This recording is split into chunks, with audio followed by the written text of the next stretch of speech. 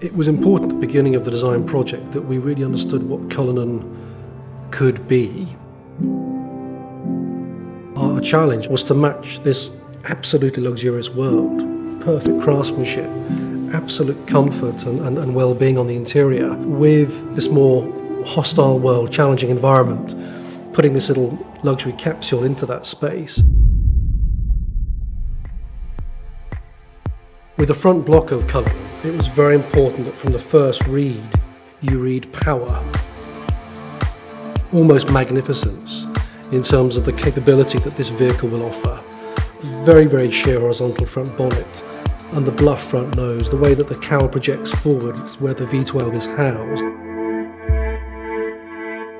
Our mentality at the first gesture outing of the vehicle, let's say, so many years ago, was to almost imagine an Anglo-Saxon warrior with the bone structure. And maybe in the past there's a, a great uncle who fought at Culloden. These were the stories and the, the gestures that we were playing with. We have maybe the challenge of the big red dunes in Dubai, and absolutely we will not fail in our quest to conquer that space.